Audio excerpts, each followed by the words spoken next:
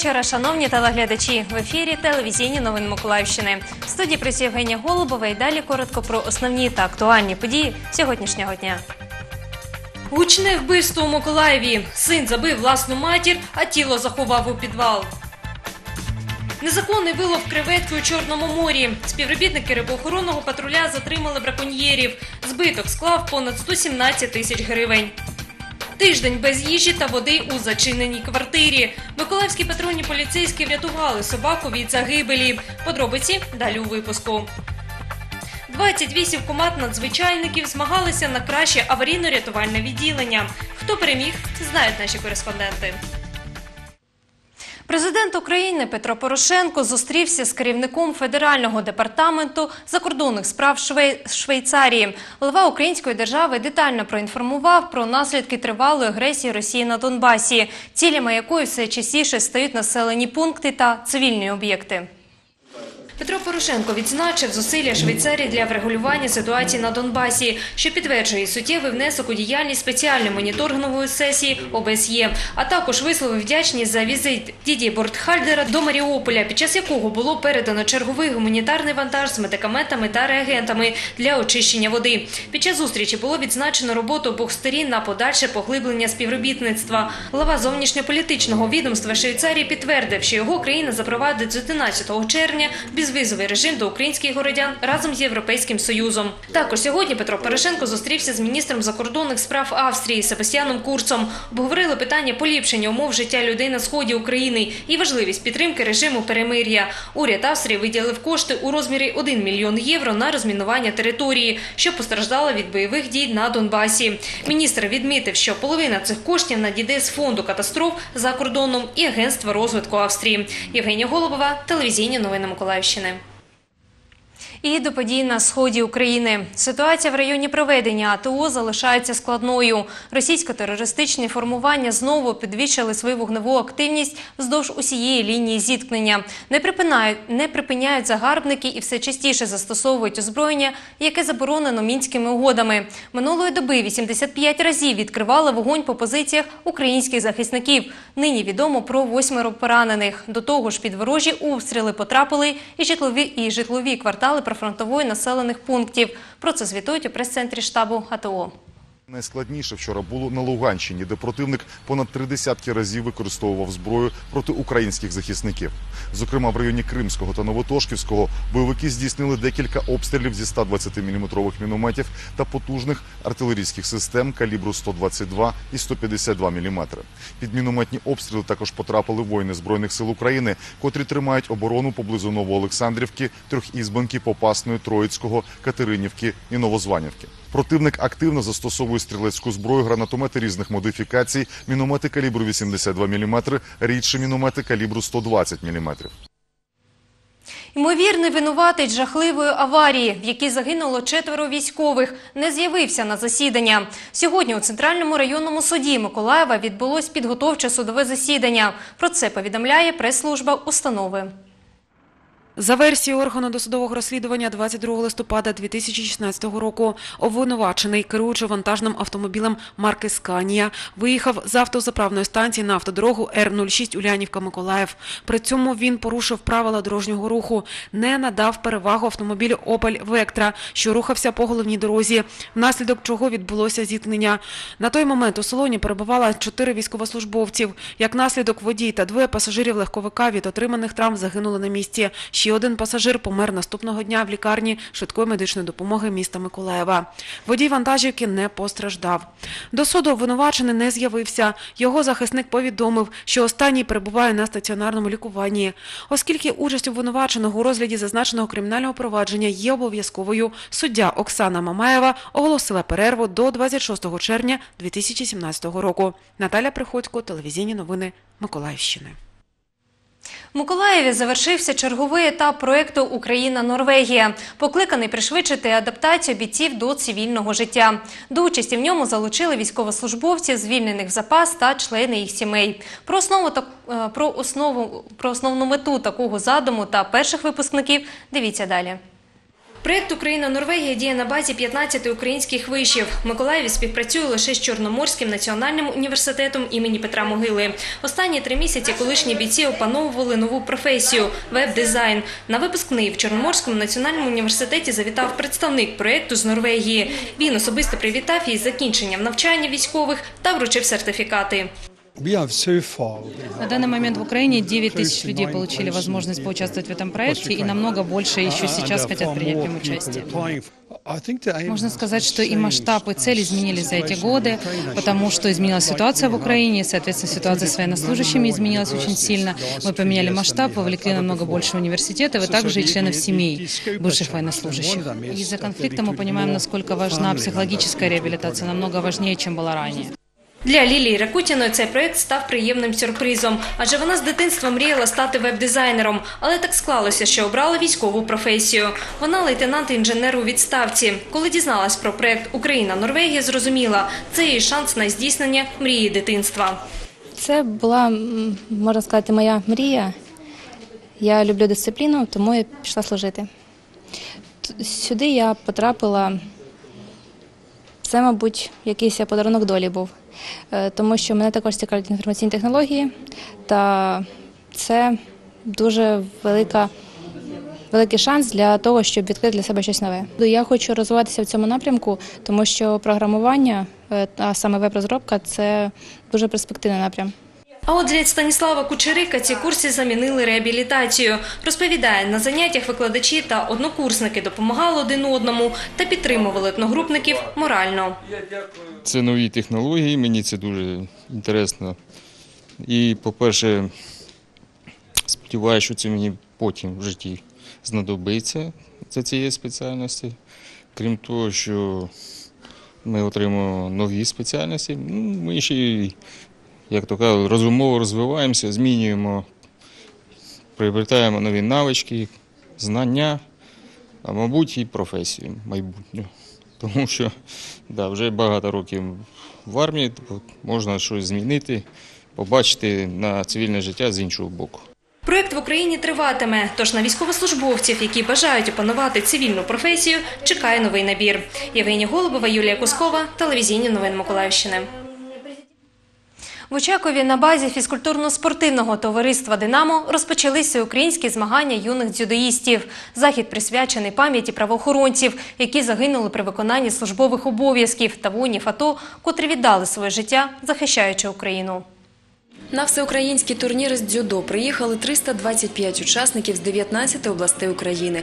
Вік дітей від 7 до 14 років. Для багатьох змагання подібного рівня – перший старт у майбутній спортивній кар'єрі. Юних спортсменів вітали представники районної та місцевої влади, призери Олімпійських ігор з дзюдо, а також керівництво Нацполіції області. Вам желаю крепкого здоровья, чтобы соревнования прошли по максимуму, без травм. И пусть победит сильнейший в этих соревнованиях. С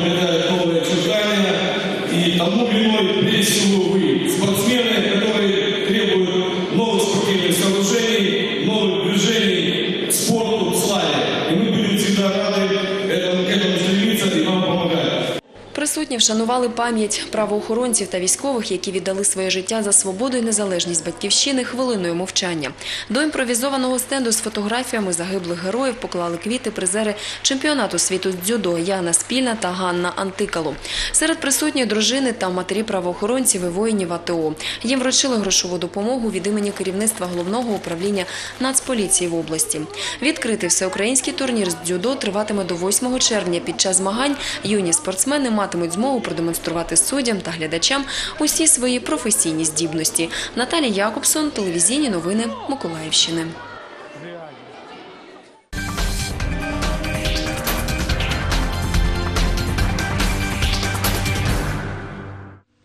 Завтра, 8 червня, у Миколаєві з 13 до 14 години в районі вулиця Потьомкінської квартал між вулицею Лягіна та Соборною буде перекрито рух транспорту. Тимчасово в цей час буде припинено і курсування трамвая номер 3 Про це повідомляє департамент житлово-комунального господарства Миколаївської міської ради. Миколаєві відбулося урочисте відкриття водного транспортного сполучення Вознесенськ-Миколаїв. Тепер Південним Бугом можна дістатись до ще одного міста Миколаївської області. Про переваги пасажирських перевезень дізнавались наші кореспонденти. На Миколаївщині тривають заходи та роботи щодо реанімації річкових перевезень. В першу чергу це швидше і комфортніше, ніж пересування, так би мовити, дорогами області. На воді немає ям, легше переноситься спека, та й переїзд триває менше двох годин. Це визначна подія. Саме чому? Тому що Миколаїв історично, е, ми всі знаємо, що це судовидування, це наші маршрути. Е, Відновлення сьогодні саме е, річкових маршрутів це ще крок, який вам нас надихає. Маршрут відкрили з ініціативи флагману українського суднобудування. не більше року назад в нашій компанії е, була викрабована ідея е, зробити річкові перевезення і повернути е, в Україну ті ракети, які останні збудовані були в нас в Україні. Це ракети, які були збудовані по імпортним технологіям.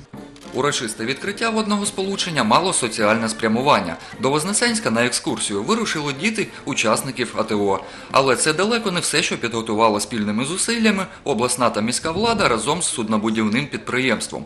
Вже 13 червня відкриється ще один рейс Миколаїв Кінбурзька коса. Олександр Гордієнко, Олександр Попов, телевізійні новини Миколаївщини. У Миколаєві поліцейські затримали зловмисника, який вбив власну матір, а її тіло сховав у підвалі. Подробиці цієї жахливої трагедії далі у випуску. Сьогодні зранку до поліції звернувся 43-річний миколаївець. Він повідомив про страшну знахідку. У підвальному приміщенні квартири по вулиці Космонавтів він виявив труп дружини з ознаками насильницької смерті. А вы обратили внимание, что она пропала, что ее что недолгое время? Нет, никто не обратил, не обратил внимания, потому что я ее, сейчас я вам скажу, где-то на той неделе я ее видел, находилась с собачкой гулять. Все. Зі слів заявника, вранці він повернувся з відрядження та дізнався, що його 41-річна дружина відсутня. Коли чоловік запитав сина про її місце перебування, той запевнив, що мати нібито знаходиться у гостях у своїх знайомих. Згодом домовласник знайшов тіло дружини у підвалі квартири, про що одразу ж сповістив правоохоронців. У них были нормальные отношения. Я даже, знаете, себе даже представить не могу. Она его очень любила, и бабушка любила, и Максик, и Максик. И видите, что Максик сделал? На місце події прибули патрульні поліцейські та співробітники слідчо-оперативної групи. Заплутавшись у показах, юнак зізнався працівникам поліції, що матір вбив, а тіло сховав. Він затриманий у порядку статті 208 Кримінально-процесуального кодексу України та доставлений до Інгульського відділу поліції. Же взял молоток и два раза совершил удар по, по голове, по темечке. Он сразу потерял сознание? Да. Зі слів затриманого, ще 2 червня у нього із матір'ю виник конфлікт через те, що він виніс з оселі техніку, яку віддав за свої борги стороннім людям. Після скоєного злочину проживав та навіть запрошував у гості свою дівчину. Знаряддя вбивства хлопець виконав. Слідчим відділенням Інгульського відділу поліції розпочато кримінальне провадження за ознаками частини 1 статті 115 Кримінального кодексу України «Умисне вбивство», санкція якої передбачає позбавлення волі до 15 років. За узгодженням із прокуратурою злочинцю оголошено про підозру та вирішується питання про обрання відносно нього міри запобіжного заходу у вигляді тримання під вартою. Тривають слідчі дії. Наталя Приходько, телевізійні новини Миколаївщини. Сьогодні в Миколаєві в багатоповерхівці на проспекті Центральному горіла двокімнатна квартира. Пожежу на п'ятому поверсі помітили сусіди. Вони ж і зателефонували до служби порятунку. За адресою проспект Центральний 181 виїхали одразу три державних пожежно-рятувальних частини. По прибуттю було встановлено, що в тамбурі квартири горить електропроводка, сміття та вхідні двері. У результаті цього утворилося щільне задимлення. На верхньому поверсі в квартирах знаходились люди, які без допомоги рятувальників не могли вийти в безпечну зону. З використанням лицьової маски співробітники ланки газу димозахисної служби евакуювали трьох осіб. Господарка квартири з е, дитиною вчасно залишили квартиру, вибили на- двір. Пожежу було ліквідовано трьома відділеннями е, пожежно-рятувальних підрозділів міста Миколаєва. Е, Пожежа до значних збитків та людських втрат не призвела. Займання на площі 5 квадратних метрів локалізувати та остаточно загасити вдалося менше, ніж за 20 хвилин. Попередня причина пожежі – коротке замикання електромережі. На місці працювало три одиниці пожежно-рятувальної техніки та 10 чоловік особового складу. Наталія Якобсон, телевізійні новини Миколаївщини. На території міського пляжу Стрілка відбулися щорічні змагання на краще аварійно-рятувальне відділення серед підрозділів головного управління ДСНС України Миколаївській області. Участь у заході взяли 28 команд рятувальників. З 9 ранку на березі Інгулу виблискують три десятки спецавто. З регіону 26 підрозділів рятувальників. З ними два відділення з охорони Южноукраїнської атомної електростанції та промислового об'єкту «Зоря-Машпроект».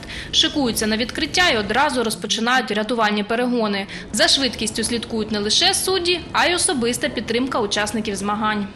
Я вже не вперше тут а, на цих змаганнях. Е, я вже тут а, вторий раз, щоб підтримати свого тата. Програма змагань складається з трьох етапів. Спершу ліквідують викид небезпечної речовини, потім деблокують постраждалого в ДТП, наостанок рятують своїх командирів на воді. Емоційний стан команда добрий. Команда відпрацювала всі свої дії, е, показали дуже достойний рівень підготовки особового складу. Змагаються перш за все на швидкість, але за невиконання вимог, наприклад, з дотримання правил техніки безпеки, нараховують штрафний час. Секретариат финишу повторяет. Первая дорожка 15 ДПРЧ 5.20, вторая дорожка 9 ДПРЧ 5.05, как помню. З кожним роком ми вносимо деякі корективи у проведення, у план проведення змагань для того, щоб працівники е, підвищували свій професійний рівень та ці змагання не повторювали з кожним роком. Отже, після завершення змагань командири чотирьох найповільніших підрозділів доводитимуть рівень своїх вмінь і навичок, об'єднавшись в одну аварійно-рятувальну команду. За останні місця учасники не думають, просто вболівають за своїх і за службу в цілому. показали добрий результат і для наших поколінь, які хочуть служити, які тільки е, проходять навчальний пункт, щоб вони бачили, як ми тут е, служимо, то що ми виконуємо, з якими бойовими задачами ми справляємося. Три команди-переможці отримають грошові винагороди. Ганна Бадіна, Артем Белібов, телевізійні новини Миколаївщини.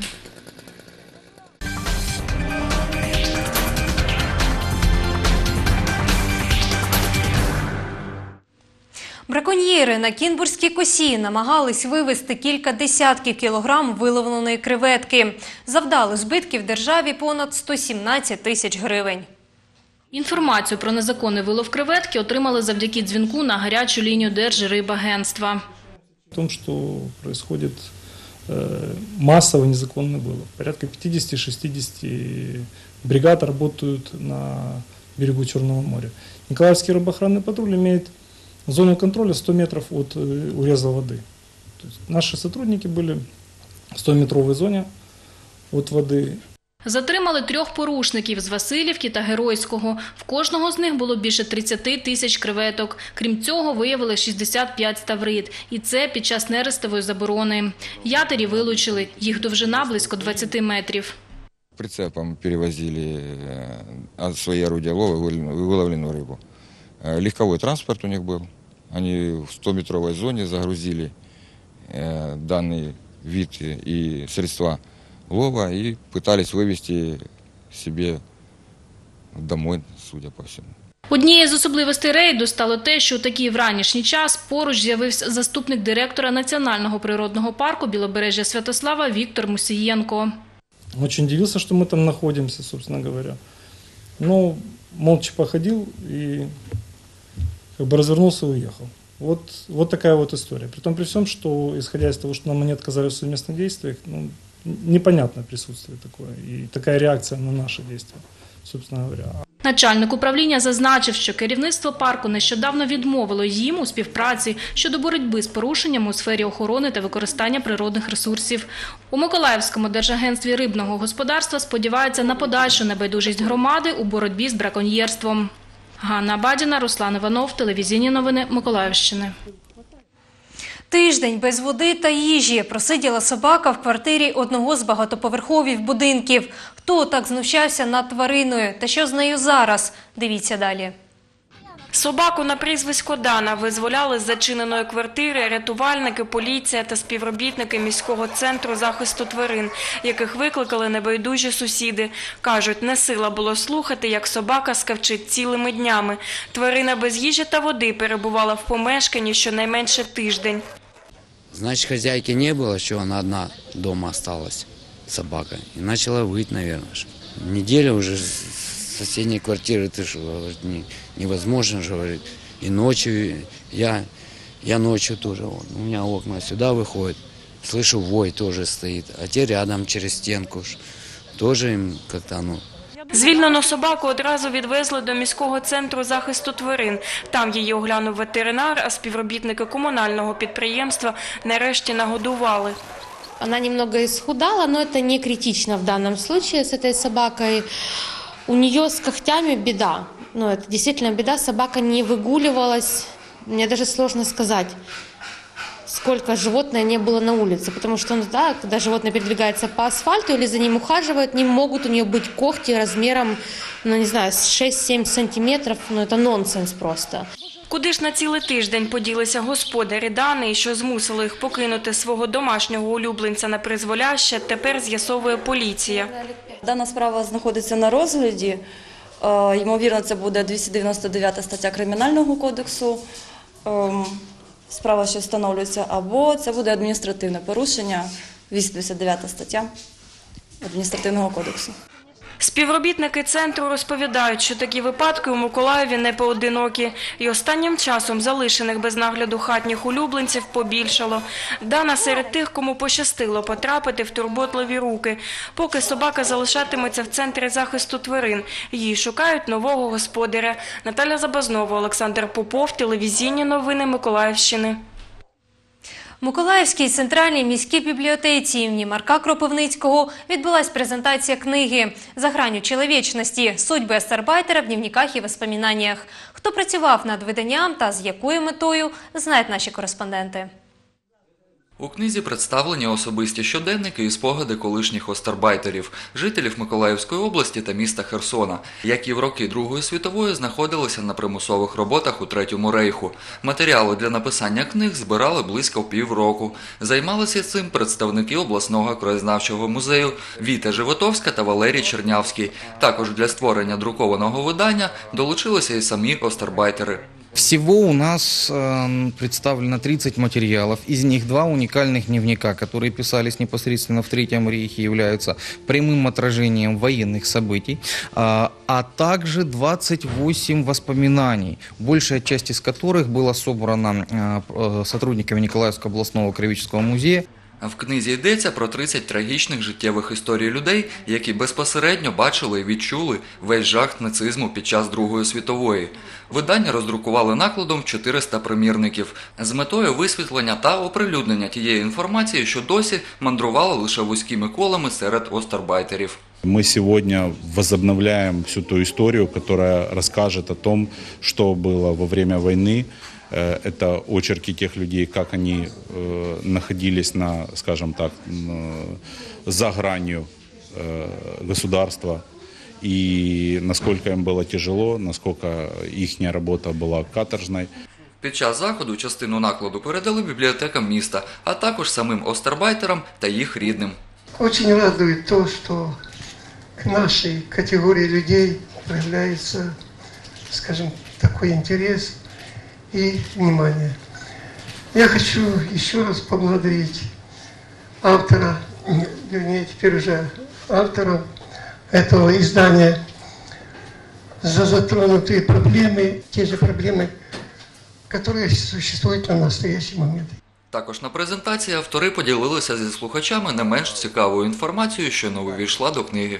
Олександр Гордієнко, Андрій Заворотній, телевізійні новини Миколаївщини.